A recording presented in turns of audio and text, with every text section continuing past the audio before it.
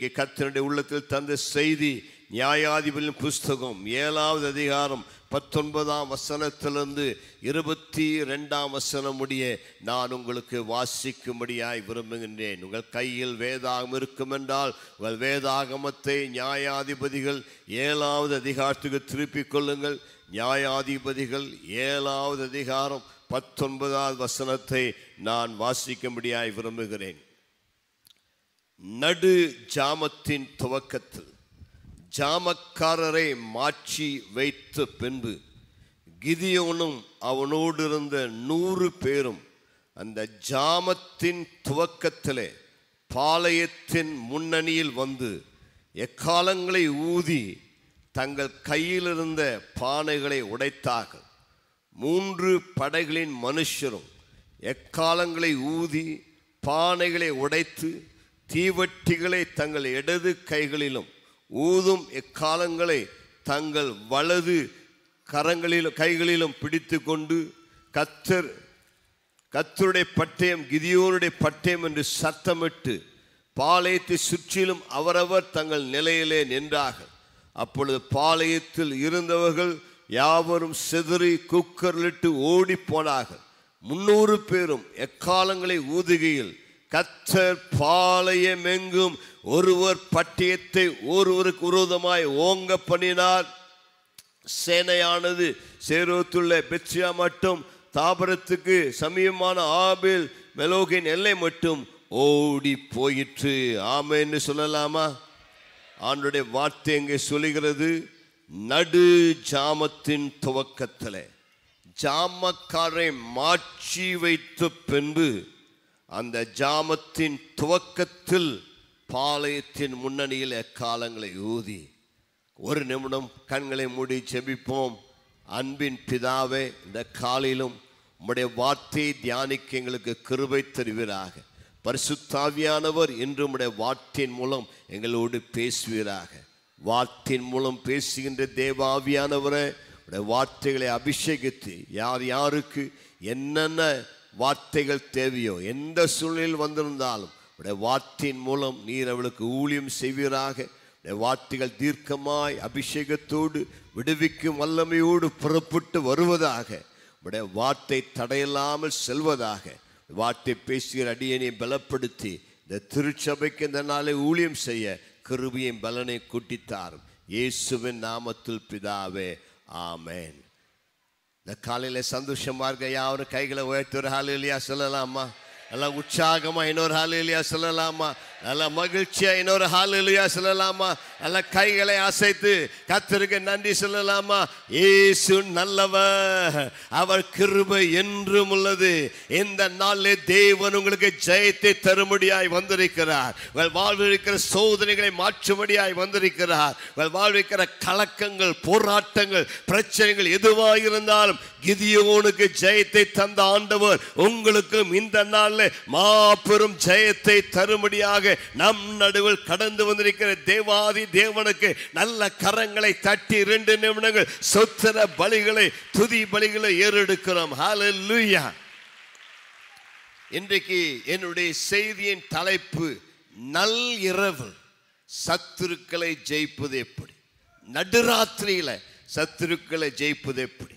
நடு இரவுன்னு சொன்னால் ராத்திரி சிலருக்கு இரவு நேரம் போராட்டங்கள் பிரச்சனைகள் கஷ்டங்கள் விதமான சூழ்நிலை என்ன செய்வதென்று தெரியாதபடி அவளுக்கு ஒரு இரவு போல காணப்படுகிறது. ஆனால் இன்றைக்கு உங்களுக்கு சொல்லுகிறேன் உங்கள் நடு இரவு வேளையில் உடைய ஜாமத்தின் துவக்கத்திலே தேவன் உங்களுக்காக எழுந்துள்ளவா இந்த நடு இரவில் போராட்டத்தின் உச்சியிலே நீங்கள் இருக்கும் பொழுது உங்களுக்காக தேவன் எழுந்து கிரியைகளை செய்கிற தேவனாக இருக்கிறார் உங்களுக்கு ஜெயத்தை தருகிற தேவனாக இருக்கிறார் இன்னைக்கு இந்த கிதியோனின் வாழ்க்கையிலிருந்து மூன்று முக்கிய குறிப்புகளை உங்களுக்காக சுருக்கமாய் பகிர்ந்து கொள்ளும்படியாய் விரும்புகிறேன். முதலாவது அந்த நான் வாசித்த இந்த வேத பாகத்தில் இந்த கிதியோனின் சம்பவத்தில் மூன்று காரியங்களை ஞாபகப்படுத்தேன் ஒன்று கிதியோனின் கேள்வி.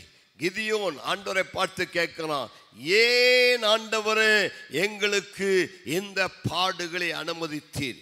நியாயாதிபதியின் புஸ்தகம் ஆறாவது அதிகாரம் பதிமூன்றாம் வசனத்தில் நாம் அந்த வார்த்தை பார்க்கிறோம். நியாயாதிபதிகள் ஆறு பதிமூன்றில் அப்பொழுது கிதியோன் அவரை நோக்கி ஆ என் ஆண்டவனே கத்தர் எங்களோடு இருந்தார். இவையெல்லாம் எங்களுக்கு நேரிடுவானேன். கத்தர் எங்களை எகிப்திலிருந்து கொண்டு வரவில்லையா என்று எங்கள் பிதாக்கள் எங்களுக்கு விவரித்து சொன்ன அற்புதங்கள் எல்லாம் எங்கே? இப்பொழுது கத்தர் எங்களை கைவிட்டு மீதியானியர் கையில் எங்களை ஒப்பு கொடுத்தாரே என்றான் இதுதான் கிதியோனுடைய கேள்வி. கிதியோனுடைய கேள்வி மட்டுமல்ல நம்முடைய கேள்வியாக இருக்கிறது.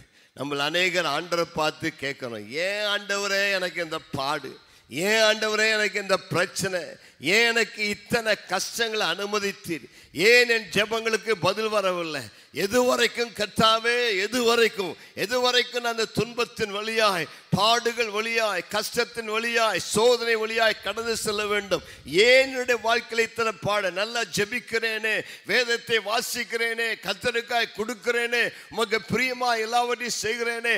ஆனால் தேவன் ஏன் என்னுடைய வாழ்க்கையில் இந்த கஷ்டங்கள் வழியாய் பாடுகள் வழியாய் துன்பங்கள் வழியாய் செல்ல எங்களை அனுமதிக்கிறேன் கிதியோனுக்கும் அதே கேள்விதான். என்ன ஆண்டவரை நான் வாக்குத்தெல்லாம் நிறைய கொடுத்தீங்களே இப்படியெல்லாம் செய்வேன் நீங்களே எங்க பிதாக்களுக்கு இந்த அற்புதமெல்லாம் செஞ்சீங்களே. ஆனால் ஏன் நாங்க இந்த ஏழு வருஷம் இந்த மீதியான கையில கஷ்டப்படுகிறோம்? இஸ்ரேல் ஜனங்கள் வாக்குத்தத்தம் பண்ணப்பட்ட காணானுக்குள் வந்து அவருடைய சுதந்திரங்களை சுதந்திரித்தாலும் அவருடைய சுதந்திரங்களை சுதந்திரிக்க முடியாதபடி அநேக சத்துருக்கள் அவளை மிதித்தார்கள். அவர்களை மிகவும் துன்பப்படுத்தினார்கள். ஏறத்தாழ நாற்பத்தி மூன்று வருஷம் பல அந்நிய ராஜாக்களால் அவள் அடிமைப்படுத்தப்பட்டார்கள். வேதனையை நிந்தையை சகித்தார்கள். இங்கே சொல்லப்படுகிறது நியாயாதிபதிகள் ஆறாவது காலத்திலே மீதியானியர் என்னும் கூட்டத்தார் இஸ்ரேல் ஜனங்களுக்கு எதிராக யுத்தம் செய்து ஏழு ஆண்டுகள் அவர்களை மிகவும் துன்பப்படுத்தினார்கள். மீதியானி என்று சொன்னால் சண்டை போடுகிறவர்கள் வாக்குவாதம் செய்கிறவர்கள் சண்டையை கிளறுகிறவர்கள். மீதியானியர் ஒன்றையும் இஸ்ரேல் ஜனத்துக்கு மீதியாக வைக்கவில்லை. எல்லாவற்றையும் வெட்டுக்கிளிகள் போல தேசத்தில் பரவி வந்து அவருடைய அறுவடையை பட்சித்து அவளுக்கு மீதியாக ஒன்றையும் வைக்காமல் எல்லாவற்றையும் எடுத்துக்கொண்டு போய் விடுவார்கள். மீதியானர்களால் இஸ்ரேல் ஜனங்கள் மிதிக்கப்பட்டார்கள் நொறுக்கப்பட்டார்கள். ஏழு ஆண்டுகள் உபத்திரப்பட்டார்கள் ஆகவே தான் கிதியோன் கேட்கிறான் ஏன் ஆண்டவரே எங்களுக்கு இந்த பிரச்சனை ஏன் எங்களுக்கு இந்த பாடு? இந்த மீதியானிய வந்துட்டாங்கன்னா இஸ்ரேல் ஜனங்கள் ஓடி போய் குகைகளை ஒளிந்து கொள்வாங்க கெபிகள் ஒளிந்து கொள்வாங்க விட்டையெல்லாம் விட்டு எங்க அவன் தூக்கிட்டு போயிடுவானோ என்று சொல்லி பயந்து ஓடி போய் குகைகளிலே கெபிகளே வாழ்ந்தாங்க. இந்த ஏழு வருஷத்துல தான் இஸ்ரேல் ஜனங்கள் ஆண்டு நோக்கி முறையிட்டாங்க. ஆண்டவரே எங்களை காப்பாற்றும் எங்களை விடுதலையாக்கும். உங்களுக்கு ஒன்று சொல்லுகிறேன். எப்பொழுதெல்லாம் நெருக்கப்படுகிறீர்களோ எப்பொழுதெல்லாம் துன்பத்தின் வழியாக கடந்து செல்கிறீர்களோ அப்பொழுது நாம் செய்ய வேண்டிய ஒரே ஒரு காரியம் தேவனை நோக்கி கூப்பிட வேண்டும். கைகளை உயர்த்தி ஒரு என்று சொல்லலாமா? இந்த நெருக்கத்தின் காலத்தில் கஷ்டத்தின் காலத்தில் வியாதியின் காலத்தில் உபத்திரவின் காலத்தில் முறுமுறுக்க வேண்டிய அவசியம் இல்லை தேவனை குறை சொல்ல வேண்டிய அவசியம் இல்லை. அபதமான கஷ்டத்தின் வழியாய் பாடுகள் வழியாய் கடந்து செல்லும் பொழுது ஆண்டவரே எங்களுக்கு இறங்க மாட்டீரா? எங்களுக்கு உதவி செய்ய மாட்டீரா? இந்த துன்பத்தில் எங்களை விடுவிக்க மாட்டீரா? மீண்டும் உடைய வலது கரத்தை நீட்டி எங்களுக்கு ஒரு அற்புதம் செய்ய மாட்டீரா? என்று நாம் அவரை நோக்கி கூப்பிடும் பொழுது அவர் நமக்கு இறங்கி பதில் தர வல்லவராய் இருக்கிறார் கைகளை உயர்த்தி ஒரு நிமிடம் அந்த கால கேட்போமா? ஆண்டவரே உடைய உதவி எனக்கு தேவை. உடைய உத்தாசம் எனக்கு தேவை. என்னுடைய உபத்திரவத்தின் மத்தியில் என்னுடைய பாடுகள் மத்தியில் மீதியானியர் எங்கள் வாழ்க்கையை மிதிக்கிறதான இந்த காலகட்டத்தில் உண்மை நோக்கி கூப்பிடுகிறோம். எங்களுக்கு இறங்குவீராக. எங்களுக்கு பதில் தருவீராக. இந்த கடினமான சூழ்நிலையில ஒரு திருப்பு முனையை உண்டாக்க நீருமுடைய தூதனை அனுப்பி எங்களுக்கு ஒரு அற்புதத்தை செய்வீராக. நம்முடைய தேவன் ஜபங்களை கேட்கிறவர் நம்முடைய தேவன் ஜபங்களுக்கு பதில் தருகிறவர். கைகளை தட்டி தேவனுக்கு நன்றி சொல்லுவோமா இந்த காலையில் நீங்கள் எந்த சூழ்நிலையில் இருந்தாலும் உங்களுடைய வேண்டுதலை கேட்பார். உங்களுடைய கூப்பிடுதலை கேட்பார். உங்கள் கண்ணீரை காண்பார். உங்கள் பாரத்தை அவர் அறிந்திருக்கிறார். நீங்கள் கடந்து செல்கிற பாதை அவர் அறிந்திருக்கிறார். இயேசுவே எனக்கு இறங்கும் என்று கூப்பிட்ட உடனே உங்களுக்கு தம்முடைய தூதனை அனுப்பி உங்களை விடுதலையாக்கிறவர் தான் நம்முடைய தேவனாக இருக்கிறார் என் கூப்பிடுதலின் சத்தத்திற்கு அவர் செவி கொடுத்து தம்முடைய தூதனை எனக்காக அனுப்பி எனக்கு அற்புதம் செய்கிறவர் தான் நல்ல ஆண்டவர். கிதியோன் ஆண்டவரை பார்த்து கூப்பிட்டான் என்ன ஆண்டவரை இந்த பாடுகள் வழியாக எங்களை செல்ல அனுமதித்தீரே ஏன்? என்று கேட்டான் உடனே தெய்வன் தம்முடைய தீர்க்கதரிசிலை அனுப்பினார். அவருடைய குறைகளை அவளுக்கு உணர்த்தி காண்பித்தார். ஏன் இந்த கஷ்டம்? ஏன் இந்த பிரச்சனை? நீ என்னை விட்டு தூரம் போய் விட்டாய். என் வார்த்தைக்கு கீழ்ப்படியலை. நான் சொன்ன வழியில் நடக்கல.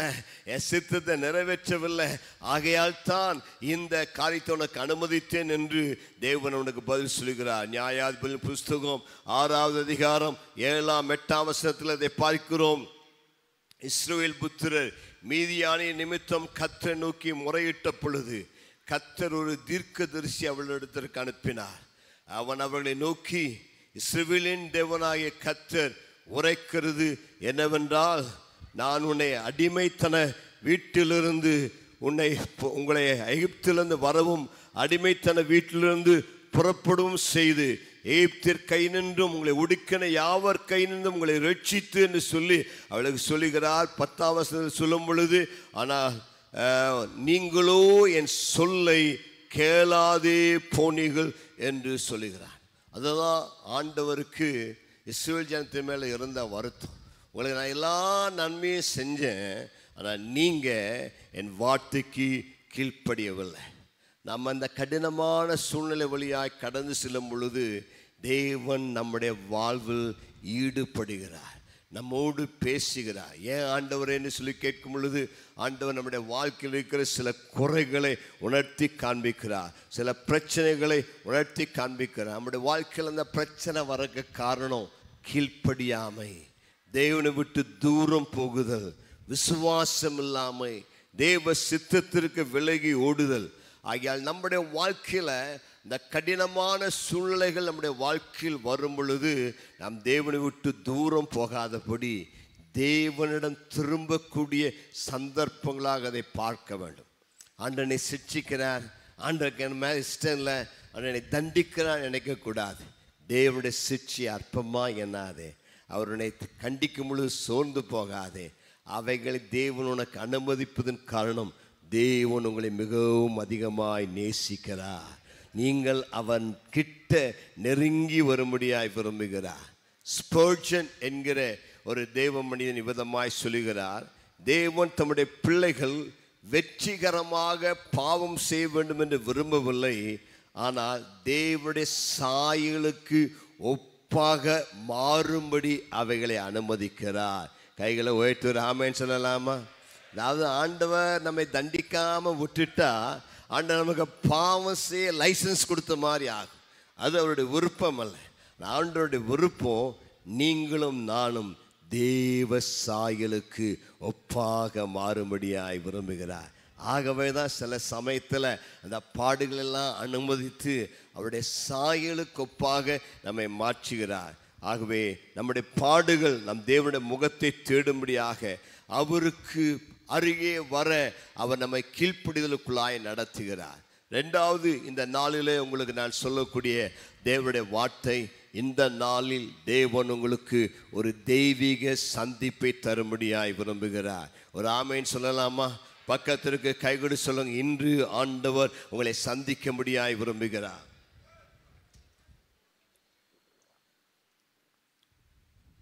தேவ சந்திப்பு அந்த கிதியோனை ஒரு கோலையிலிருந்து தைரியசாலியாய் மாற்றியது.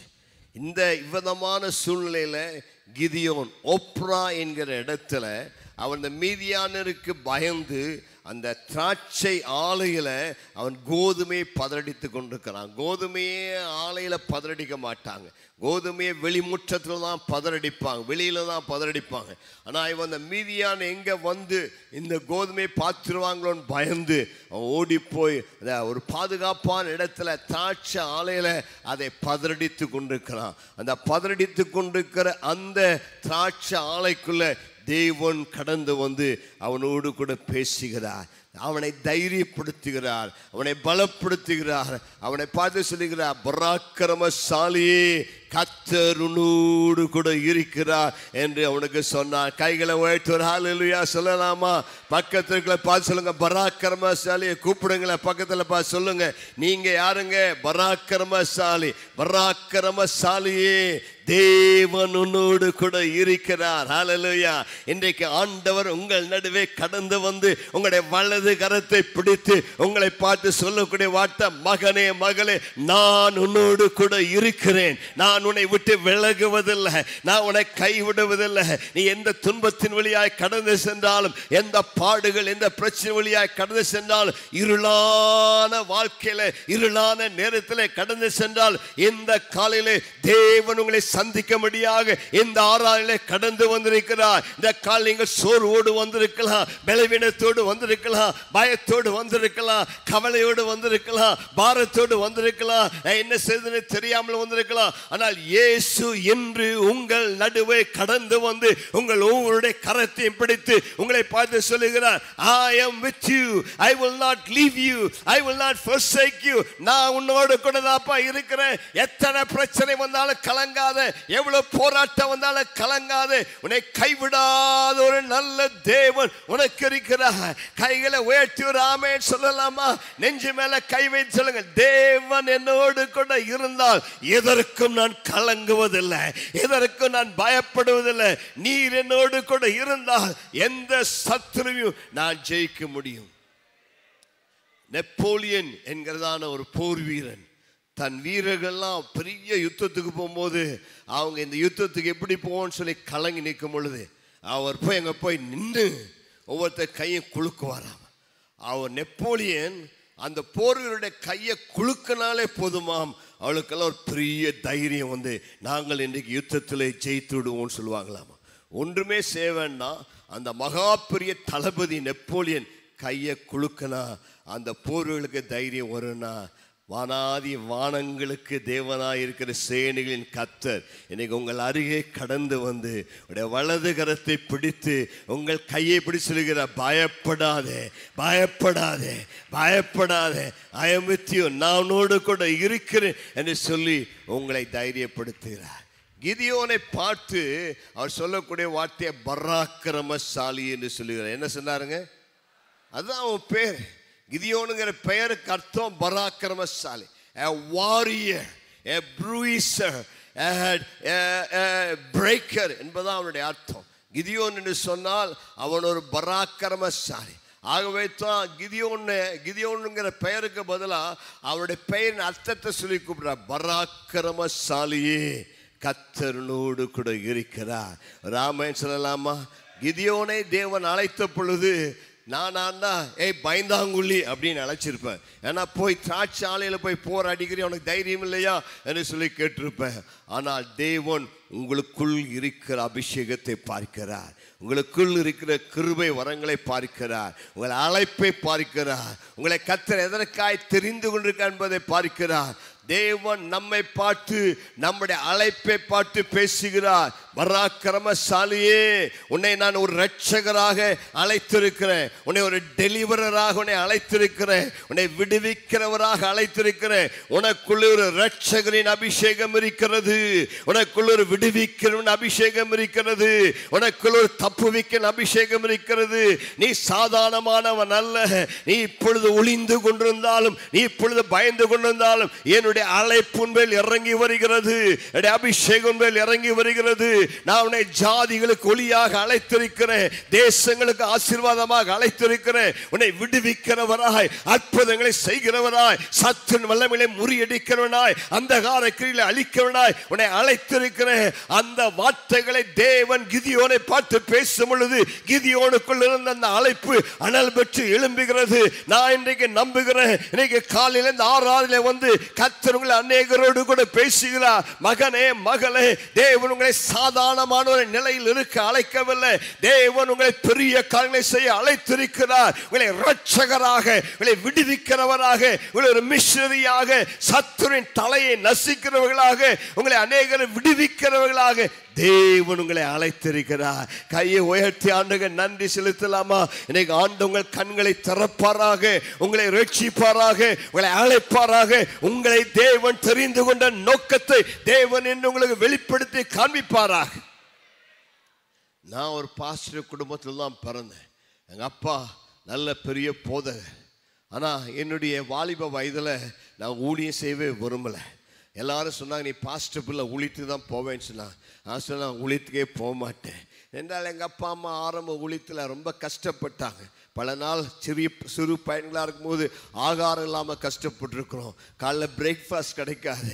சில நாள் மூன்று நாள் கம்பல்சரி ஃபாஸ்டிங் இதெல்லாம் பார்த்து தான் நான் வளர்ந்தேன். போட்டுக்குள்ளே சரியாக துணி இல்லை. ஸ்கூலுக்கு போகிறதுக்கு ரொம்ப கஷ்டம். பல பாடுகள் மத்தியில் நானும் என்னுடைய சகூரியில் வளர்ந்தோம். அப்போ நான் சொன்னேன் நான் ஊழியத்துக்கு வரமாட்டேன். நல்லா வேலை செய்து சம்பாதித்து எங்கள் அப்பா அம்மாவுக்கு உதவி செய்வேன். இயேசுவை நேசித்தேன் ஊழியத்தை நேசித்தேன்.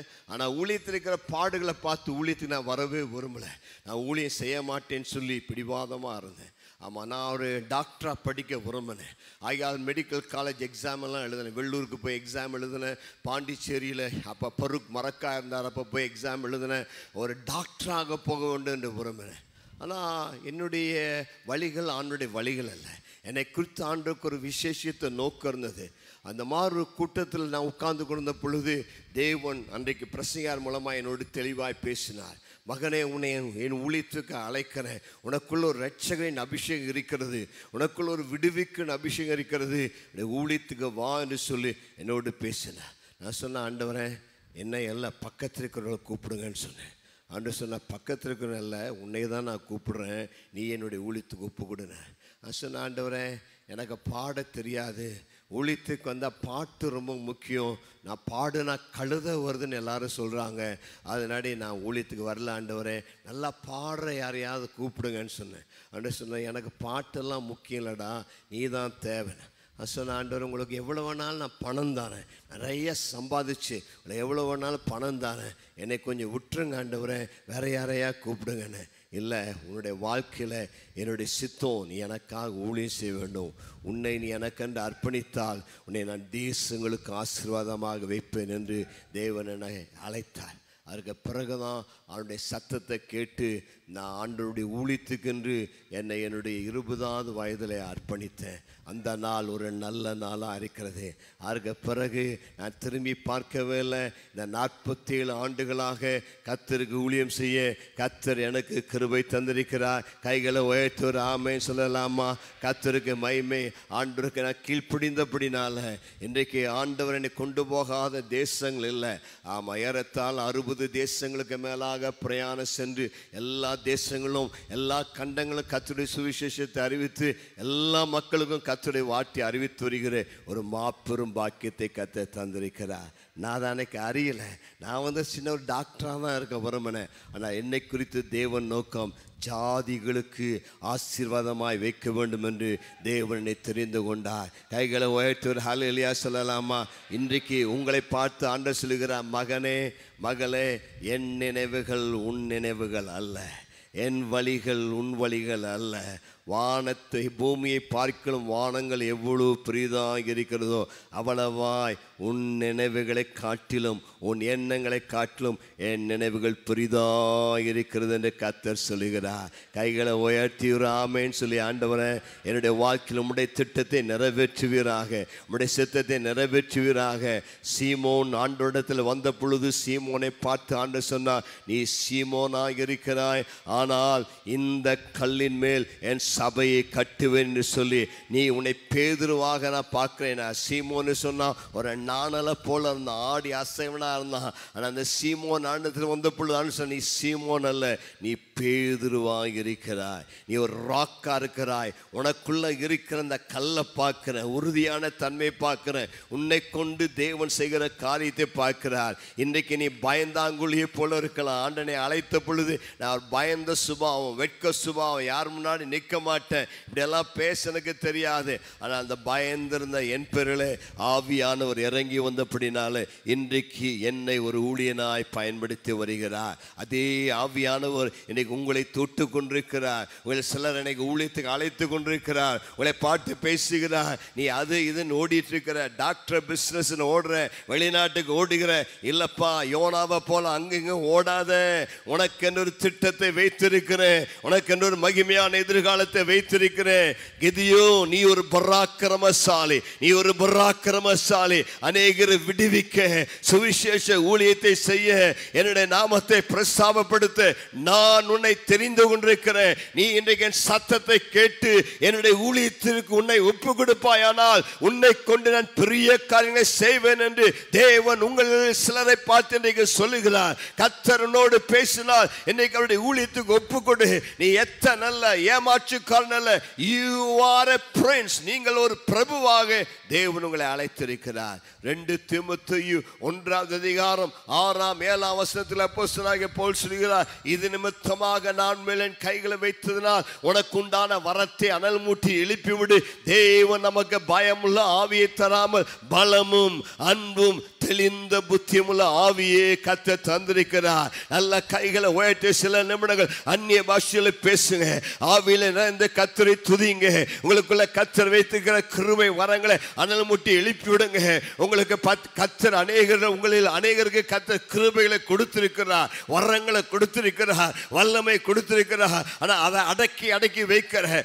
பயத்தினால் மூடி மூடி வைக்கிறாய். ஒரு விளக்கை அந்த விளக்கை தண்ணின் கீழே போட்டு அதை மூடி வைப்பது போலும் விளக்கு பிரகாசமா இல்லாதபடி அதை மூடி மூடி மரக்காலுக்கு கீழே வைக்கிறாய். இன்னைக்கு கத்தருடைய வார்த்தை உனக்கு நேராய் வருகிறது. எழும்பி பிரகாசி எழும்பி பிரகாசி எழும்பி பிரகாசி. உன் ஒளி வந்தது கத்துடைய மகிமன் மேல் உதித்தது. இது உன்னுடைய நேரம். This is your time this is your season இது உனக்காக தேவன் வைத்திருக்கிற காலம். இனியும் மறைந்திருக்காது. இனியும் ஒளிந்திருக்காதே. இனி ஓடி போ ஓடி ஓடி போய் ஒளியாதே. உனக்குள் இருக்கிற அந்த அபிஷேகத்தை இந்த கால தேவன் அனல் முட்டி எழுப்பிவிடும்படியாய் விரும்புகிறார். அண்டவரே நான் உமக்காக எழும்பி ஏதாவது ஒன்று செய்ய வேண்டும் என்று கேளுங்க.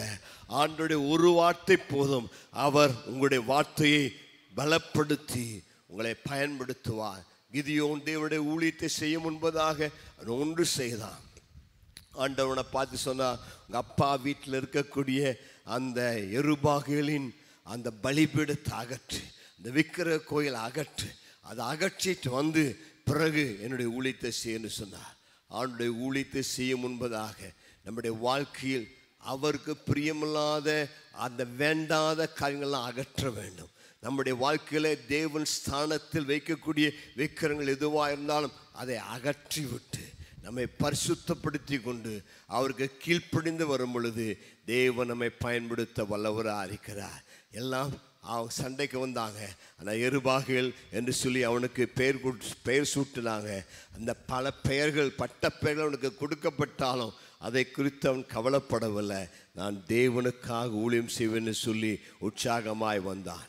மூன்றாவதாக நான் பார்க்கக்கூடிய காரியம் நடு இரவு சத்துருக்களை ஜெயிக்கக்கூடிய யுக்தியை தேவன் அவனுக்கு தந்தார். உங்கள் வாழ்க்கையில் போராட்டமா? வாழ்க்கையில் பிரச்சனையாக வாழ்க்கையில் மீதியானியர் உங்களுக்கு எதிர்த்து போராடுகிறார்களா? உங்களுடைய சத்துருக்கள் மீதியானியரை போல உங்களை மிதித்து அவர்கள் நிமித்தம் நீங்கள் முறையிட்டு கூக்கரில் இடுகிறீர்களா? பல போராட்டமா? சத்துருக்களை உங்களுக்கு விரோதமாய் போராடுகிற அந்த பிரச்சனைகளை அந்த சத்துருக்களை இந்த சோதனைகளை ஜெயிப்பது எப்படி என்று கிதியோனின் வாழ்விலிருந்து நாம் கற்றுக்கொள்கிறோம். கிதியோன் பயந்தவன் ஆனாலும் தேவனுடைய வெளிப்பாட்டை பெற்றவன். தேவன் சொல்லாமல் எதையும் செய்யவே மாட்டான். தேவன் சொன்னதை அவன் உறுதிப்படுத்தி கொண்டு இது தேவ சித்தம் இது தேவ திட்டம் என்பதை தெளிவாய் அறிந்த பிறகுதான் செய்வான். சிலரெல்லாம் துணிச்சலாக ஆண்டு எதையும் சொல்லாமலேயே செஞ்சிருவாங்க. அதனால தான் அவங்க வாழ்க்கையில் பல பாடுகள்.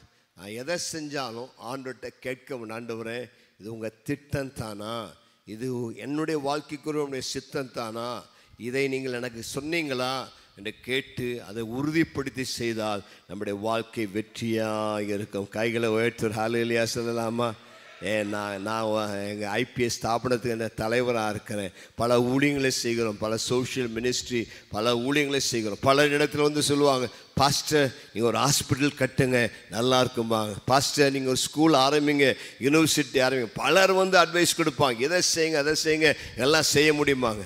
நான் சொல்லுவேன் ஆண்டவர் எனக்கு ஒன்றை சொல்லாமல் நான் எதையும் செய்ய மாட்டேன் நான் செய்கிறதெல்லாம் தேவ தரிசனத்தின்படி தான் செய்வேன். ஏமான் தேவன் சொன்னால் அதற்கான வழியை கத்த திறக்க வல்லவராகிருக்கிறார் ஆண்டவர் என்னுடைய இருபத்தி ஆறாம் வயதில் ஒரு பைபிள் காலேஜ் ஆரம்பின்னு சொன்னார். அப்போ என் கையில் பணமே இல்லை. கத்தரை நம்பின விசுவாசித்தேன். ஒரு இடத்த பார்த்து அந்த இடத்த போய் நடந்தேன். அந்த இடத்தின் சொந்தக்கார் கேட்டாங்க ஐயா நாங்கள் அந்த இடத்த உங்களுக்கு கொடுக்க ரெடியாக இருக்கிறோம். அங்கே எவ்வளோ பணம் இருக்குனாங்க என் கையில் அந்த காலத்தில் முந்நூறுரூபா தான் இருந்தது. நான் சொன்ன முந்நூறுரூபா வச்சுருக்கிறேன். இவ்வளோ முந்நூறுரூபாய் அட்வான்ஸாக தரேன். எனக்கு கொஞ்சம் டைம் கொடுங்க. நான் வாங்கிக்கிறேன்னு சொன்னேன். இந்த முந்நூறுரூபாய் அவளுக்கு கொடுத்தேன். ஆனால் தேவன் சொன்னதுனால ஒரு வருஷத்துக்குள்ளே இந்த இடத்துக்கு தேவையான எல்லா பணத்தையும் கொடுத்தார். இந்த இடத்த வாங்கணும் ஒரு பைபிள் காலேஜை கட்டணும். இன்றைக்கி அந்த இடம் பல கோடி மதிப்புள்ள இடமா இருக்கிறது. அந்த பைபிள் காலேஜ் வந்து ஆயிரக்கணக்கான ஊழியர்கள் புறப்பட்டு இந்தியா முழுவதும் இன்றைக்கு தேவனுக்காக வல்லமையான ஊழியங்களை செய்து வருகிறார்கள். கைகளை உயர்த்துவர். இல்லையா சொல்லலாமா? நாங்கள் ஆண்டருக்கு ஒரு பெரிய ஆலயத்தை கட்டினோம்.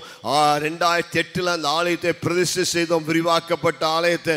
அப்போ ஆண்டு சொன்னால் இந்த ஆலயம் உன்னுடைய ஆலயம் இல்லை. இது ஒரு சண்டே ஸ்கூல் தான். இதை நான் வந்து உனக்கு ஒரு பெரிய ஆலயத்தை தருவேன்னு சொல்லி பல தீர்க்கதரிசிகள் மூலமாக அந்த ஆலயத்தை பிரதிஷ்டை பண்ணிக்கிற நாளில் ஆண்டு சொன்னார். எனக்கு அது பிடிக்கவே இல்லை. சொன்ன இதுவே பெரிய ஆலயம். இப்போ எனக்கு அறுபது வயசாக போகுது. இந்த ஆலயத்திலேயே நான் ரிட்டையர்ட் ஆகி நான் முடிக்கலாம் ஊழியத்தை முடிக்கலாம் நினைக்கிறேன். இல்லைன்னா இந்த ஆலயத்திலே பல ஆறாம் நடத்தினா அநேக பத்தாயிரம் பேர் வரைக்கும் இந்த ஆலயத்தில் உட்கார ஆறாம் நடத்தலாம். ரெண்டாயிரம் ரெண்டாயிரத்தி ஐநூறு பேர் உட்காரக்கூடிய ஆலயம். அதை கட்டி முடித்து சந்தோஷப்பட்ட பொழுது ஆண்டு சொன்ன இதெல்லாம் உன் சர்ச்சு உனக்கு பெரிய இடத்த வச்சுக்கேன்னு சொல்லி. எனக்கு அந்த தீர்க்கதரிசனம் சொன்னவங்கெல்லாம் கல்லெடுத்து அடிக்க வேணும்னு யோசித்தேன். இது பொய் தீர்க்கதரிசனம்னு சொல்லி சொல்ல யோசித்தேன். ஏனென்றால் அந்த ஆலயத்தை கட்ட அவ்வளோ பாடு அவ்வளோ பிரயாசம் அவ்வளோ கண்ணீர் அவ்வளோ எதிர்ப்பு எவ்வளோ கோர்ட் கேஸ் எவ்வளோ பிரச்சனைகளை சந்தித்து தான் அந்த ஆலயத்தை கட்டணும். நான் கட்டி முடிச்சோன்னே எல்லாம் சொல்கிறாங்க இது உங்கள் சர்ச்சில் இதை விட பெரிய சர்ச்சை தர போகிறேன்னு சொல்லி. ஆனால் கர்த்தர் சொன்னால் அதை செய்ய வல்லவராக இருக்கிறார். பிறகு கத்தர் ஒரு தரிசனத்தை கொடுத்தார். பெரிய இடத்த வாங்கினார். எப்படி வாங்குறேன்னு தெரியல. ஆனால் கோயம்புத்தூரில் முப்பத்தி ஏழு ஏக்கர் இடத்தை தேவன் எங்களுக்கு கிருபையாய் கிடைக்க செய்தார். கைகளை உயர்த்துவது ஆமேன்னு சொல்லலாமா? இந்த இடத்த வாங்கின பிறகு பத்தாயிரம் பேர் உட்காரக்கூடிய ஆலயத்தை கட்டு என்று ஆண்ட கட்டளையிட்டார். இப்போ அதற்கான பிளானெல்லாம் ஆயத்த பண்ணிகிட்ருக்குறோம் என் கையில் அதுக்குள்ளே காசு இல்லை கோடிகள் கிடையாது. ஆமாம் ஒரு கோடி கூட இல்லை அந்த ஆலயத்தை கட்ட. ஆனால் அந்த ஆலயத்தை கட்டுறதுக்கு நூறு கோடிக்கு மேலே பிளான் பண்ணியிருக்கிறோம். ஆனால் எனக்கு ஒரே ஒரு நம்பிக்கை கத்தர் சொன்னால் அவர் அதை செய்ய வல்லவராக இருக்கிறார் கையை உயர்த்தி சொல்லுங்களேன் கத்தர் உங்களுக்கு ஏதாவது ஒரு தரிசனத்தை கொடுத்துருக்கிறேன்னா பயப்படாதீங்க. கத்தர் சொன்னால் நிச்சயம் அது நிறைவேறியே தீரும். அவர் தம்முடைய வாயினால் சொன்னதை தம்முடைய கையினால் நிறைவேற்ற வல்லவராக இருக்கிறார். கட்டடங்கள் பணத்தினால் உருவாவதில்லை. தேவனுடைய வார்த்தைக்கு கீழ்ப்படிவதனால் இது நடக்கிறது. எந்த காரியமானாலும் தேவனால் ஆகாது ஒன்றுமில்லை. தேவனால் முடியாது ஒன்றுமில்லை. தேவன் செய்ய வல்லவராயிருக்கிறார் தேவன் உங்களுக்கு ஒரு தரிசனம் கொடுத்தா கட்டாயம் அது நிறைவேறியே தீரும். அது நடந்தே தீரும். ஆனால் ஒன்று மட்டும் நீங்கள் நிச்சயிக்க வேண்டும். தேவன் உங்களுக்கு சொன்னால் அவர் பொய் சொல்லவே மாட்டார். தேவன் சொன்னால் நிச்சயம் நிறைவேறும். தேவன் சொல்வதற்கு நம்ம கீழ்ப்படிந்தால் மட்டும் போதும். அதை அவர் செய்ய வல்லவர். கத்திற்கு மகிமை உண்டாவதாக. இப்போ கிதியோன் யுத்தத்துக்கு எதிராக போகிறான் மீதியானியர் ஏராளமா இருக்கிறாங்க. ஒரு லட்சத்து முப்பத்தி ஐயாயிரம் மீதியானியர் காத்தாங்க அவனுக்கு எதிராக அந்த பள்ளத்தாக்கில் இருக்கிறாங்க. இவன் கிதியோன் கட்ட கொஞ்சமே தான் இருக்கிறாங்க.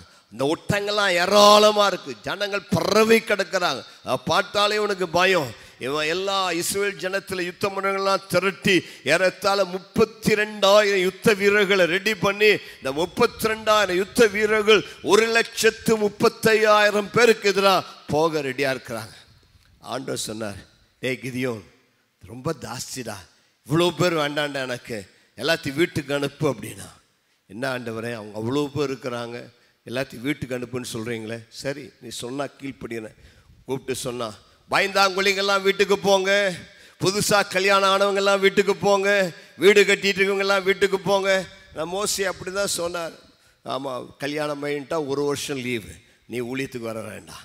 வீடு கட்டிட்டு இருந்தீங்கன்னா வீடு கட்டி முடிக்கிற வரைக்கும் உனக்கு லீவு நீ வீட்டுக்கு போயிடு அப்போ கிதியோன் அப்படி சொன்னான். சொன்னதை இதான்ப்பா கிடைச்சதே சாக்கு. இவ்வளோ நாள் வா வான்னு கூப்பிட்டார் பாஸ்ட்டு இப்போல்லாம் போ போங்கிறாரு அப்படின்னு சொல்லி அந்த முப்பத்தி ரெண்டாயிரம் பேரில் எல்லாரும் போயிட்டாங்க. கடைசியில் கொஞ்சம் ஒரு பத்தாயிரம் பேர் தான் மீதியாக இருந்தாங்க. பத்தாயிரம் பேர். பத்தாயிரம் பேரை வச்சு ஒரு லட்சத்து முப்பத்தையாயிரம் பேர் எப்படி யுத்தம் போடுறது எப்படி யோசித்தான். நான் சொன்னேன் பத்தாயிரம் எனக்கு ரொம்ப ஜாஸ்தி. இவங்களெல்லாம் எல்லாம் வீட்டுக்கு அனுப்பு. ஆமாம் ஒரு டெஸ்ட் கொடு. டெஸ்ட்டில் யார் பாஸ் பண்ணுறாங்களோ அவங்க தான் உன்னோட வரலான்னாங்க இந்த நான் அவங்க போய் எல்லாத்தையும் தண்ணி குடிக்க சொன்னான் தண்ணி குடிக்கும் போது அப்படியே முழங்கால் போட்டு மேலே பார்க்காம அப்படியே கீழேயே பார்த்து குடிச்சவங்களாம் வீட்டுக்கு அனுப்பு. நாய் நக்கிற மாதிரி கையில் எடுத்து அப்படியே சுற்றி முற்றியும் பார்த்து விழிப்பு அலர்ட்டாக இருக்கிறவங்கள மட்டும் தெரிந்து கொள்ளினார் அப்படி நாய் நக்கிற மாதிரி கையில் எடுத்து அடுத்து அப்படியே எல்லாத்தையும் சுற்றி பார்த்து குடித்தவங்க முந்நூறு பேர். முந்நூறு பேர் போதும். மீதி தொள்ளாயிரத்தி ஒன்பதாயிரத்தி எழுநூறு பேரை வீட்டுக்கு அனுப்புன்ட்டார் முந்நூறு பேர் இருக்கிறாங்க. அந்த முந்நூறு பேரை வச்சு எப்படி யுத்தம் பண்ணுறது இருக்கிறது ஒரு லட்சத்து முப்பத்தையாயிரம் பேர். கணக்கு போட்டால் ஒரு ஆள் நானூற்றி ஐம்பது பேரோட சண்டை போட வேண்டும். இந்த மீதியானியர் பயங்கரமான யுத்த வீரர்கள் பயங்கரமாக சண்டை போடுறவங்க இவன் இவ்வளோ நாள் அடிமைப்பட்டிருந்தவன் ஓர் ஆள் நானூற்றி ஐம்பது பேருக்காக யுத்தம் செய்வது எப்படி? இதில் வேறு ஆண்ட ஸ்ட்ராட்டஜி கொடுக்குறா யுத்தத்துக்கு. யுத்தத்துக்கு போனா பட்டயம் ஈட்டி ஏகே ஃபார்ட்டி செவன்லாம் எடுத்துகிட்டு போகாத. நீ யுத்தத்துக்கு எடுத்துகிட்டு போக வேண்டியது ஒரு பானை. என்ன எடுத்துகிட்டு போகணுங்க? சட்டி. ஒரு பானை எடுத்துகிட்டு போ. பானைக்குள்ளே ஒரு எக்காலத்தை வெய் ஒரு தீவட்டி கையில் எடுத்துக்கொள். பானைக்குள்ளே ஒரு தீவட்டி வைத்துக்கொள். எக்காலத்தை உன்னுடைய வலது கையில் பிடித்துக்கொள். பானை தீவட்டி எக்காலம். எல்லாம் சொல்லுங்க என்னங்க? இந்த மூன்று யுத்த ஆயுதங்களோடு யுத்தத்துக்கு போன்ற ஆண்டர் சொன்னார். கொடுக்குற ஸ்ட்ராட்டஜியே டிஃப்ரெண்ட்டாக தான் இருக்கும். அவர் கொடுக்குற ஸ்ட்ராட்டஜியை பின்பற்றினா போதும் ஜெயம் நமக்கு கிடைக்கும். ஆண்டுகிட்ட கேள்வி கேட்க முடியாது. ஏன் ஆண்டவரே நீங்கள் அனுப்புறி? ஏன் இப்படி செய்ய சொல்கிறேன் அவர் சொன்னதை கீழ்ப்படிந்தால் போதும். அவர் பார்த்துக்கொள்ள வல்லவராக இருக்கிறார். கையில் கையை உயர்த்து ஒரு ஹாலிலையா சொல்லலாமா? நம்முடைய ஆண்டவர் வில்லினாலும் அம்பினாலும் யுத்தம் செய்து ஜெயிக்கிறவர் அல்ல. பட்டயத்தினால் ஜெயிக்கிறவர் அல்ல. தாவீது கூழாங்கல்லை தான் வச்சிருந்தான். கூழாங்கல்லை கொண்டு ஒரு கோலியாத்தை வீழ்த்தினவர் நம்முடைய ஆண்டவர். சிம்சோன் கையில் வெறும் ஒரு தாடை எலும்புதான் இருந்தது. அதை கொண்டு ஆயிரம் பேரை கொன்றான். மோசே கையில் ஒரு கோல் தான் இருந்தது. அந்த கோலை வைத்து சமுத்திரத்தை பிளந்தான். ஆகவே தான் ஆசா ராஜா சொல்லுகிறார் பலமுள்ளவனு காய்களும் பல நட்சவனு காய்களும் உதவி செய்கிறது. உமக்கு லேசான காரியம். கையை வைத்து சொல்லுங்க உங்களுக்கு இது லேசான காரியம். எங்களுக்கு துணை நில்லும் கர்த்தாவே. உம்முடைய நாமத்திலே நாங்கள் நிற்கிறோம். உனக்கு பிரச்சனை எவ்வளவு பெருசாக இருந்தாலும் உனக்கு எதிராக மலை போல பிரச்சனை வந்தாலும் இன்றைக்கு ஆண்டு உனக்கு சொல்லுகிறார் பலமுள்ளவனு காயிலும் பல நச்சவன காயிலும் உதவி செய்கிறது. இது எனக்கு லேசான காரியம். இன்னைக்கு உன்னுடைய பிரச்சனை எதுவா இருந்தால் ஆண்டு உங்களுக்கு சொல்லக்கூடிய வார்த்தை இது எனக்கு லேசான காரியம். நான் உனக்கு உதவி செய்ய வந்திருக்கிறேன். ஹலலூயா யோனத்தானுக்கு தேவன் சொன்ன வார்த்தை அதுதான். அநேகம் பேரை கொண்டாய்களும் கொஞ்சம் பேரை கொண்டாயிலும் ரட்சிக்க கத்தருக்கு தடை இல்லை என்று சொல்லி யோனத்தான் சொல்லுகிறான். நிறைய பேர் தான் வேணும்னு சொல்லி இல்லை கொஞ்சம் பேர் ஆண்டுக்கு இருந்தால் போதும். கொஞ்சம் பேரை கொண்டு அற்புதத்தை தேவன் செய்ய வல்லவராக இருக்கிறார். இந்த முன்னூறு பேர் நடு ராத்திரியில நடு ஜாமத்தில் ஜாமத்தின் துவக்கத்தில் அவன் அந்த முன்னூறு பேரை மூன்று படையாய் பிரித்தான். நூறு நூறு பேராய். நூறு பேர் கையில் ஒரு பானை கொடுத்தான் ஒரு தீவட்டி கொடுத்தான் ஒரு எக்காலத்தை கொடுத்தான். எங்கும் இருள் சூழ்ந்திருந்தது ஆனால் நான் உங்களுக்கு சொல்லுகிறேன் இருள் சூழ்ந்த நே- நேரத்தில் தேவனுடைய மகிமை பிரகாசிக்க போகிறது. கைகளை உயர்த்தி ஒரு ஹalleluya சொல்லலாமா? இருள் தேவனுடைய மகிமை தடை செய்யாது. இருள் தேவனுடைய வல்லமை தடை செய்யாது. இருள் எவ்வளவு அதிகமாக இருக்கிறதோ அந்த இருளின் நடுவிலே ஒளியை பிரகாசிக்க பண்ணுகிறவர் நம்முடைய தேவனா இருக்கிறார் உடைய எவ்வளவு இருள் சூழ்ந்திருந்தாலும் அந்த இருளின் மத்தியிலே அந்த ஜாமத்தின் துவக்கத்திலே கத்தர் உனக்கு ஒரு அற்புதத்தை செய்ய வல்லவராய் இருக்கிறார் இருள் தேவனுடைய கிரியை தடுத்து நிறுத்த முடியாது. இருளின் நேரத்திலே தேவன் தம்முடைய வல்லமை வெளிப்படுத்துவார். இருளால் ஒளியை ஜெயிக்க முடியாது. வாழ்வில் இருளான சூழ்நிலையிலே தேவ வெளிச்சம் பிரகாசிக்கும். கிதியோன் அந்த மிதியானுக்கு எதிராக போகிறான். அந்த பானை எடுத்துக்கொள்கிறான் அந்த தீவட்டி எடுத்துக்கொள்கிறான் அந்த எக்காலத்தை எடுத்துக்கொள்கிறான் சொல்கிறான் கிதியோனின் பட்டயம் தேவனுடைய பட்டயம் என்று சொல்ல தேவன் ஒரு மாபெரும் ஜெயத்தை தருகிறார். மூன்று காரியங்களை மட்டும் சொல்லி முடிக்கிறேன். நீங்கள் தான் ஒரு மண்பாண்டம். பக்கத்தில் பார்த்து சொல்லுங்க. நீங்கள் ஒரு மண்பாண்டம். ஆமாம் நீங்கள் யாருங்க? நீங்கள் ஒரு மண்பாண்டம். மண்ணினால் செய்யப்பட்ட ஒரு பாண்டம். எங்கள் ஊரில் மண் சட்டிம்பாங்க. ஆமாம் அவ்வளோதான் நாம் ஒரு மண்பாண்டமாக இருக்கிறோம். ஆனால் அந்த மண்பாண்டம் காலியாக இருந்தால் தான் தேவன் பயன்படுத்த முடியும். இந்த மண்பாண்டம் சுத்தமாக இருந்தால் தான் பயன்படுத்த முடியும். நீங்கள் மகிமைக்கு தேவ மகிமைக்கு எத்தனமாக்கப்பட்ட தேவனால் உருவாக்கப்பட்ட ஒரு பாத்திரமாக இருக்கிறீர்கள். அவர் குயவன் நாம் களிமண். கையை உழைத்து சொல்லுங்க ஆண்டவரே உம்முடைய சித்தம் போல என்னை வனைத்திடுமையா உடைய சித்தம் போல என்னை உருவாக்கிடுமையா? ஆமாம் தேவன் அவருடைய சித்தத்தின்படி அவருக்கேற்ற பாத்திரமாக உங்களை வணையும்படியாய் விரும்புகிறார். நீ பரிசுத்தமாக்கப்பட்ட பாத்திரமாய் எஜமானுக்கு உபயோகமான பாத்திரமாய் தீழ்ப்பானதோனை பிரித்தெடுத்து ஒரு பாத்திரமாய் அசுத்தமானதோனை பிரித்தெடுத்து ஒரு பாத்திரமாய் இருந்தால் தேவன் உங்களை கடைசி காலத்தில் பயன்படுத்துவார். ஏன் தேவனால் உங்களுக்கு அற்புதம் செய்ய முடியல? உங்கள் பாத்திரத்தில் காலியாக இல்லை. உங்கள் பாத்திரத்தில் வேண்டாத குப்பை இருக்கிறது. உங்கள் பாத்திரத்தில் வேண்டாத அசுத்தங்கள் இருக்கிறது. இந்த காலையில் கையை ஓய்த்தி சொல்லுங்கள் ஆண்டவரே என் பாத்திரத்தை பரிசுத்தப்படுத்துங்க. வேண்டாத குப்பைகளை வேண்டாத அசுத்தங்களை என் வாழ்க்கை விட்டு மாற்றி விடுங்க குயவனே குயவனே என்னை வனைத்திடுமையா என்னை உருவாக்கிடுமையா உமக்கேற்றொரு பாத்திரமாக என்னை உருவாக்குமையா. உங்க கையில் நான் கணத்துக்குரிய எஜமானால் பயன்படுத்தப்படக்கூடிய ஒரு பாத்திரமா இருக்க விரும்புகிறேன். சும்மா வெறுமையான பாத்திரமா ஷோ கேஸில் அடிக்க வைக்கப்பட்ட பாத்திரம் அல்ல. எஜமான் பயன்படுத்தப்படக்கூடிய ஒரு பாத்திரமா இருக்க வேண்டும். கத்தர் பயன்படுத்துகிற பாத்திரமா இருக்கிறாயா? அப்படியானால் அந்த பாத்திரம் ஆயத்தமாக்கப்பட்ட ஆலயத்தில் இருக்கிற பரிசுத்தமாக்கப்பட்ட பாத்திரமா இருக்க வேண்டும் ஞாயிற்றுக்கிழமை ஆலயத்துக்கு வராம வீட்டில் இருந்தா கத்தரனை பயன்படுத்த முடியாது. கத்தரை ஆராதிக்கிற பரிசுத்த நாள் கத்தரை தேடி ஆராதிக்க வர வேண்டும். கத்தரை தேடி அவருடைய ஆலயத்தில் அவருடைய பிரசனத்தில் காத்திருக்கும் பொழுது அவர் சில பாத்திரங்களை தேடிக்கொண்டிருக்கிறார் எந்த பாத்திரம் என்னால் பயன்படுத்தப்பட ஆயத்தமாய் பரிசுத்தமாய் இருக்கிறதோ அந்த பாத்திரத்தை நான் எடுத்து என்னுடைய மகிமைக்காக பயன்படுத்த பயன்படுத்துவேன் சொல்லி தேவனாகிய கத்துடைய கண்கள் பூமியெங்கும் சுற்றி உலாவுகிற கண்கள் அவர் தம்முடைய வல்லமை வெளிப்படுத்த முடியாக இந்த கால் தம்முடைய ஆலயத்தின் நடுவில் அவருடைய கண்கள் உலாவிக் கொண்டிருக்கிறது. நீ உத்தம இருதயத்தோடு இருப்பாயானால் நீ ஆயத்தமாக இருப்பாயானால் இதுதான் என்னுடைய பாத்திரம். இந்த பாத்திரத்தை மகிமைக்காய் தெரிந்து கொள்ளுவேன். இந்த பாத்திரத்தை பயன்படுத்துவேன் என்று சொல்லி தேவன் உங்களை பயன்படுத்த ஆயத்தமுள்ளவராக இருக்கிறார் அந்த பானையை ஆண்டவர் பயன்படுத்த வேண்டும் என்று சொன்னால் இந்த பானைக்குள் ஒரு தீவட்டி வைத்திருக்கிறார். இந்த பானைக்குள் வைத்திருக்கிற அந்த தீவட்டி வெளியே தெரிய வேண்டுமென்றால் அந்த பானை உடைக்கப்பட வேண்டும். பானை உடைத்தால்தான் பானைக்குள் இருக்கிற தேவ மகிமை வெளிப்படக்கூடியதாக இருக்கிறது. கைகளை உயர்த்துறாமன்னு சொல்லலாமா? பானை அந்த பானை எடுத்துட்டு போனால் அந்த பானைக்குள்ளே ஒரு தீவட்டி வைக்க சொன்னார். இந்த பாளையத்துக்குள்ளே போனோன்னே பானையை உடை அப்படின்னார். பக்கத்தில் பாசுறவங்க பானை உடைக்கப்படுவதாக. என்னங்க? எப்படி உடைக்கிறது பானை? பானை உடைச்சாதான் அந்த பானைக்குள் இருக்கிற அவருடைய மகிமை வெளிப்படக்கூடியதாக இருக்கிறது பானை உடைப்பது என்று சொன்னால் என்ன? என்னுடைய சுயம் உடைக்கப்பட வேண்டும். என் வாழ்க்கையில தேவனுக்கு விரும்பாத காரியங்கள் உடைக்கப்பட வேண்டும்.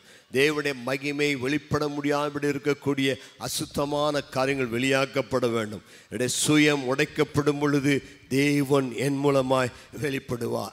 கையை உயர்த்தி சொல்லுங்க ஆண்டவரே உடைக்க வேண்டிய இடத்தினே உடையுங்க ஆண்டவரே. எங்கள் எஜமான் என்னென்ன காரியத்தில் உமக்கு வேண்டாத காரியங்கள் வாழ்வு இருக்குதோ அதெல்லாம் இன்னைக்கு உடைத்து போடுங்க. குயவனே குயவனே என்னை உடைத்து உருவாக்குவீராக. நீ விரும்பாத காரியங்கள் என்னை வாழ்க்கை விட்டு அப்புறப்படுத்துவீராக.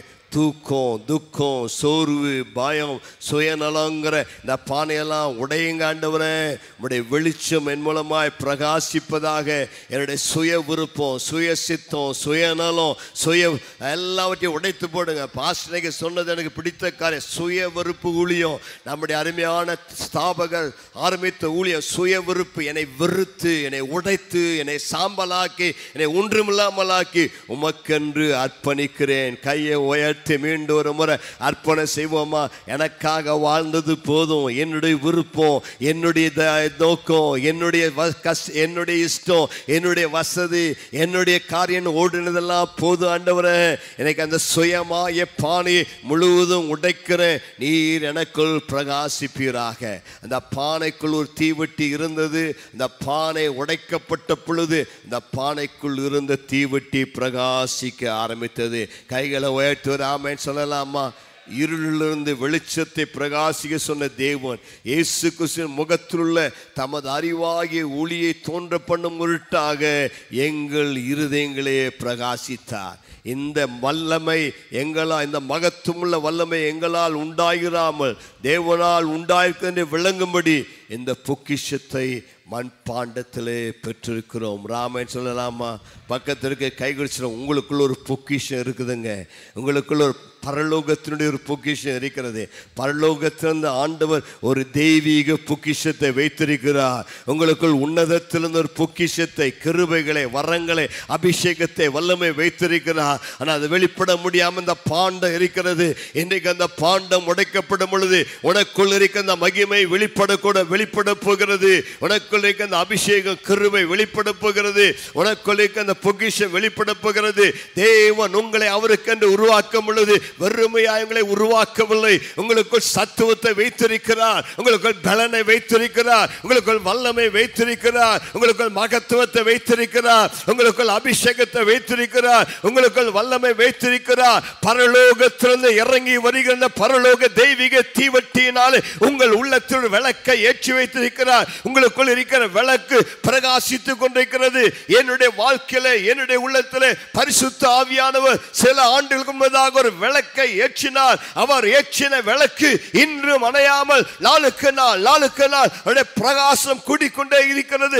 இன்றைக்கு உங்கள் இருதயமாகிய உள்ளத்திலே தேவன் ஒரு தெய்வீக தீபத்தை ஏற்றி வைக்கிறார். அது சாதாரண தீபம் அல்ல அது மனிதனால் ஏற்றப்படுகிற தீபம் அல்ல பரலோகத்திலிருந்து இறங்கி வருகிற பரிசுத்த ஆவியானவர் உன்னுடைய உள்ளத்தில் இறங்கி வரும் பொழுது உன்னை பிரகாசிக்க பண்ணுகிறவர் உனக்கு ஒரு அபிஷேகத்தை தருகிறவர் உன்னை வல்லமெனால் நிரப்புகிறவர். உன்னை எரிந்து பிரகாசிக்க செய்கிறவர். பக்கத்துல பார்த்து கேளுங்க உனக்குள்ள எரிகிறதான்னு கேளுங்க. உனக்குள் எரிகிறதா? ஆவியில அனலா இருக்கிறாயா? இல்லை ஏதோ குளிரா இருக்கிறாயா? உனக்குள் ஏதோ ஒன்று எரிந்து கொண்டிருக்கிறதா? உன் எலும்புகளுக்குள் அந்த அனல் இருக்கிறதா is it burning in your bones உனக்குள்ள அந்த அக்கினி மூழ்கிறதா? நீ ஜெபிக்கும் பொழுது துதிக்கும் பொழுது உடைய இருதயத்தில் ஒரு அக்கினி எழும்புகிறதா? இல்லாவிட்டால் அந்த காலை கேளு. தீ கொளுத்தும் தேவா. தீ கொளுத்தும் தேவா. எனக்குள் உம்முடைய அக்னியை கொளுத்துங்கய்யா எனக்குள்ள அந்த அக்னி தெய்வீக அபிஷேகத்தை மீண்டும் ஒருமுறை கொளுத்தி நான் உமக்காக எழுந்து பிரகாசி கிரியை செய்வீராக. உனக்குள் அக்னி இருந்தால் சத்துரு பயப்படுவான் உனக்குள் அந்த அக்னி பிரகாசித்து கொண்டால் சத்துன் அருகே வர முடியாது. உன் பக்கத்தில் வருகிற பட்சித்து போடும். அந்த உனக்குள் இருக்கிற அக்னி மற்றவர்களை பிரகாசமாய் பச்செறிய செய்யக்கூடியதாக இருக்கிறது. கைகளை உயர்த்தி ஆண்டுக்கு நன்றி சொல்லலாமா? ஆண்டவரே அந்த அக்கினி எனக்குள் பற்றி எறிவதாக அந்த அக்னி அபிஷேகத்தால் என்னை நிரப்புவீராக சொல்லுங்க. மூன்றாவது அந்த எக்காலம் கையிலே எக்காலம். எக்காலம் ரெண்டு காரியத்துக்கு அடையாளமாக இருக்கிறது. ஒன்று தேவனுடைய வார்த்தைக்கு அடையாளமாக இருக்கிறது. ஒன்று தேவனை துதிப்பதற்கு அடையாளமாக இருக்கிறது. உங்களுடைய வலது கையை உயர்த்தி ஆண்டுக்கு சில நிமிடங்கள் சோத்திரம் செலுத்துங்க. எப்பொழுதெல்லாம் சத்துருங்களுக்கு எதிராக வருகிறானோ அப்பொழுது பானை உடைத்து உனக்குள் இருக்கிற பரிசுத்தாவின் அபிஷேகத்தில் நிரம்பி அந்த தீவெட்டி எரிந்து பிரகாசிக்க உன் வலது கரத்தை உயர்த்தி எக்காலத்தை ஊதும் பொழுது கத்தரை துதிக்கும் பொழுது கைகளை உயர்த்தி சொல்லுங்க கிதியோனின் பட்டயம் தேவடைய பட்டயம் என்னுடைய பட்டயம் தேவடைய பட்டயம். இன்றைக்கு காலையில் நீங்க கையை உயர்த்தி ஆண்டவரை துதிக்கும் பொழுது அதிக ஜனங்களை கொண்டல்ல மனுஷ பலத்தை கொண்டல்ல பலத்தினால் அல்ல பராக்கிரமத்தினால் அல்ல என்னுடைய ஆவியினாலே ஆகும் என்று சேனில் கத்த சொல்லுகிறார். நீ நினைக்காத இடத்துல உனக்கு உதவி வரும். நீ எதிர்பாராத இடத்துல கத்து உனக்கு உதவி செய்வார். பட்டயத்தினால ரட்சிக்கிறவர் அல்ல. என்னுடைய ஆண்டவர் அவருடைய நாமத்தினால் உனக்கு உதவி செய்கிறவர். நீ என்ன இக்கட்டான இடுக்கமான இருளான சூழ்நிலையில நீ கையில எக்காலத்தை எடுத்து இன்னொரு கையில தீவட்டி பிடித்து கொண்டு கத்தரை துதிக்கும் பொழுது கத்தர் உனக்காக எழுந்திருளுவார். உனக்காய் கத்தர் யுத்தம் செய்வார். அந்த எரிகோ தே பட்டணத்தில் யூஸ்வாவும் அவருடைய ஜனங்களும் அந்த எரிகோ மதுளை ஆறு நாள் சுற்றி வந்தார்கள். ஏழாவது நாள் ஆர்ப்பரித்த பொழுது ஒருவரும் தொடாமலேயே எரிகோ முதல் கீழே விழுந்தது. கத்தர் மாப்பெரும் ஜெயத்தை தந்தார். இஸ்ரோல் ஜனங்கள் ஆர்ப்பரித்தார்கள் எரிகோ முதல் கீழே விழுந்தது. கத்தரை துதிப்பதில் ஒரு பெரிய ஜெயம் உண்டு. கத்தரை ஆராதிப்பதில் ஒரு பெரிய வெற்றி உண்டு. எப்பெல்லாம் அவங்களுக்கு பிரச்சனை எப்பெல்லாம் கத்தரை துதிங்க எந்த பிரச்சனையாக இருந்தாலும் கத்தரை துதிங்க. எங்கள் சபையில் ஒரு இந்த பிரசங்கத்தை நான் செய்த பொழுது ஒரு சகோதரி எனக்கு சாட்சி சொன்னாங்க. பாஸ்டர் ஏழு வருஷம் எனக்கு குழந்தைகளை ஏழு வருஷம் நிந்த அவமானம் வெட்கம் எல்லாரும் என்னை கேட்டான் கல்யாணம் ஆகி குழந்தை இல்லையா? குழந்தை இல்லையான்னு சொல்லி. நான் இந்த பிரசங்கத்தை செய்த பொழுது ஆண்டுடைய வாட்டி நம்பினேன். ஏழு வருஷம் ஒடுக்கப்பட்ட எனக்கு இன்றைக்கு கத்தர் விடுதலை தருவான்னு நம்பினேன். நீங்கள் பிரசங்கம் பண்ண அந்த நாளை ஜெபித்தேன். எப்பொழுது கத்தர் எனக்கு ஒரு குழந்தையை வயிற்றிலே தந்திருக்கிறா அந்த வார்த்தையின்படியே கத்தர் எனக்கு அற்புதத்தை செய்தார். அநேக சாட்சி பகர்ந்தாங்க. இன்றைக்கு உங்களுக்கு நான் சொல்லக்கூடிய வார்த்தை உங்கள் வாழ்க்கையில் ஒரு வருஷம் ஏழு வருடம் நீங்கள் கஷ்டப்பட்டுருக்கலாம். ஏழு வருடம் உங்களுக்கு நிந்தை அவமானமாக இருக்கலாம். ஏழு வருடம் அல்லது ஏழு மாதம் கடன் பிரச்சனை வியாதி துன்பம் என்று இருக்கலாம். நான் உங்களுக்கு சொல்லுகிறேன் இன்றைக்கு கத்தர் உங்களுக்கு ஜெயத்தை தர வந்திருக்கிறார். இன்றைக்கு ஆண்டு உங்களுக்கு ஒரு அற்புதத்தை செய்ய வந்திருக்கிறார். இனி இன்றைக்கு கண்ட கீர்த்தினை ஒரு நாளும் காணப்போவதில்லை.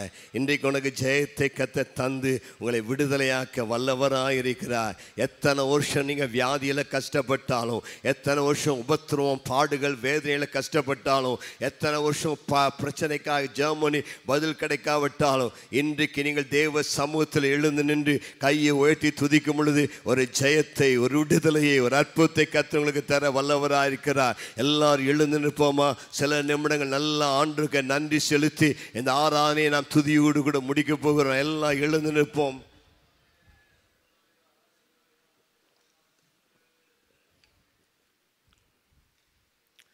பக்கத்து இருக்கிற பார்த்து கேளுங்க. கையில் எக்காலம் வச்சுருக்கீங்களான்னு கேளுங்க. கேளுங்களேன். உங்கள் கையில் எக்காலம் ரெடியாக இருக்குதா? கத்தரை துதிக்க ரெடியாக இருக்கிறீங்களா? நல்ல சத்தமாக கத்தரை துதிக்க ரெடியாக இருக்கீங்களா? உங்களுக்கு வெற்றி வேண்டுமான்னு கேளுங்களேன். உங்களுக்கு ஜெயம் வேண்டுமா? உங்களை கத்தர் இன்னைக்கு விடுதலை ஆக்க வேண்டுமா? ஏமா இன்றைக்கு கத்தர் உங்கள் நடுவில் எழுந்தருளி. உங்களை விரோதமாக இருக்கிற சத்துருக்களை முறியடித்து இதுவரைக்கும் நீங்கள் பார்த்த பிரச்சனைகள் போராட்டங்கள் எல்லாவற்றையும் வந்து கத்தர் உங்களை இன்றைக்கு விடுதலை ஆக்கி உங்களுக்கு இன்றைக்கு தெய்வன் அற்புதத்தை செய்ய வல்லவராக இருக்கிறார். நல்லா ரெண்டு கைகளும் உயர்த்தி நல்லா ரெண்டு நிமிடங்கள் நல்ல ஆவியில் நிறைந்து எவ்வளோ சத்தமாக கத்தரை துதிக்க முடியுமோ எவ்வளோ சத்தமாக அந்நிய பாஷையில் கத்தரை ஆராதிக்க முடியுமோ நல்ல சத் சத்தத்தை உயர்த்தி கத்தரை துதிங்க உங்கள் துதிகள் எழும்பட்டும் உங்கள் சத்தம் எழும்பட்டும். எக்காலத்தை போலும் சத்தத்தை உயர்த்தி கத்தரை துதி துதி துதி. அவர்கள் வாயில் இருபுறமும் கருக்குள்ள பட்டயமும் அவள் வாயில் கத்தரை உயர்த்தி துதிக்கிற துதியும் காணப்படும். அப்படி கத்தரை உயர்த்தி துதிக்கும் போது அந்த மேன் மக்களை சங்கிலினால் கட்டப்படுவார்கள். உனக்கு விரோதமாய் எழும்புகிற ஆயுதங்களை கத்தர் முறியடிப்பா. உனக்கு விரோதமாய் எழும்புகிற சத்துருகளின் வல்லமைகளை முறியடிப்பா. உனக்கு விரோதமாய் இருக்க போராட்டங்களை முறியடிப்பா. இந்த இந்த சத்தம் போதாது இந்த சத்தம் போதாது. எவ்வளவு சத்தமா எவ்வளவு சத்தமா? நல்லா கத்திரி துதிக்க முடியும். அவ்வளவு சத்தமா கத்திரி துதிங்க ஆத்பரியுங்க மகிழ்ச்சியா கத்துக்கு நன்றி செலுத்துங்க.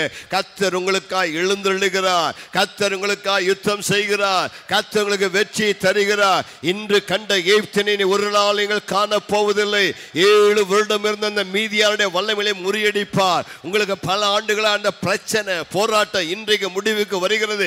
எவ்வளவு தூரம் கத்தரை துதிக்கிறீர்களோ அவ்வளவு தூரம் கத்தவர்களுக்கு விடுதலை தரப்போகிறார் துதி துதி துதி துதி. சாத்தானை மிதி மிதி மிதி. இயேசுவின் நாமத்தில் வெற்றி பெறு ஜெயம் பெறு.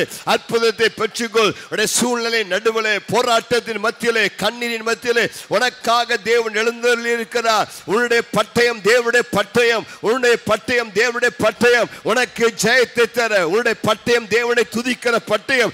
தேவனை துதிக்கிற அந்த தேவனை துதிக்கிற தேவனுடைய வார்த்தை விசுவாசத்தோடு அறிக்கையிடும் பொழுது உனக்கு ஒரு ஜெயத்தை கத்த தர வல்லவராயிருக்கிறார். ஷாபாலா ரக்காபாலா தோனோ கோரோ ஷக்கா ரிக்காபாலா தோனோ மகந்தானா மக ரே கே ரே ரே ரே ரே ரே ரே ரே. ரே பிராமா ஷக்காலாபா ரிபாரா கத்தா ரிகாத்தானா ரிகேலேர ஷக்கா. கத்தர் எழுந்தெழுவீராக தேவனாய் கத்தர் எழுந்தெழுவீராக உடைய சத்துருகள் சிதறடிக்கப்படுவார்களாக. இயேசுவின் நாமத்தினாலே ஆயிரம் பதினாயிரமான இஸ்ரவேலருக்குள்ளே கத்தர் எழுந்தருளுவீராக கத்தர் எழுந்தருளுவீராக let god arise let god arise let god arise let his enemies be scattered in the name of jesus receive your victory receive your healing receive your blessing உடைய வாழ்க்கையில ஏழு வருஷம் எதற்காய் காத்திருந்தா குழந்தை இல்லையா வேலை இல்லையா பிரச்சனையா எந்த காரியம் வந்தால் இன்று கத்தர் ஜெயம் ஜெயம் தருகிறார் இன்று வெற்றி தருகிறார் நல்ல கைகளை தட்டி குதிக்க முடியும்னா குதிச்சு துதிக்க துதிக்க முடியுங்க எவ்வளவு துதிக்க முடியும் அவ்வளவு துதித்து நல்ல கைகளை தட்டி ஆட்பறீங்க ஆட்பறீங்க எரிகோ மதில்கள் விழுவதாக எரிகோ கோட்டைகள் தகர்ந்து விழுவதாக உனக்கு உண்மைதான் இருக்க தடைகள் அகழுவதாக ஜெயத்தை கத்து தருவாராக. வெற்றி பெற்றுக்கோள் வெற்றி பெற்றுக்கோள் ஜெயத்தை பெற்றுக்கோள் அற்புதத்தை பெற்றுக்கோள். அண்டவராக இயேசுவின் நாமத்தினாலே இந்த ஆலயத்தில் இருக்கிற ஒவ்வொருவருக்கும் விடுதலை தருவீராக அற்புதத்தை செய்வீராக வியாதிகளை மாற்றுவீராக நன்மை உண்டாவதாக. இதுவரைக்கும் பட்ட பாடுகள் கஷ்டங்கள் பிரச்சனைகள் போராட்டத்திலிருந்து விடுதலை கொடுத்து இன்றைக்கு இயேசுவின் நாமத்தில் அற்புதங்கள் நடப்பதாக அநேக சாட்சிகள் எழும்புவதாக கத்தர் எங்களுக்கு இதை செய்தார் என்று பல சாட்சி பகிர்வார்களாக. உமக்கே மகிமை செலுத்தி. இயேசுவின் நாமத்தில் செபிக்கிறோம் நல்ல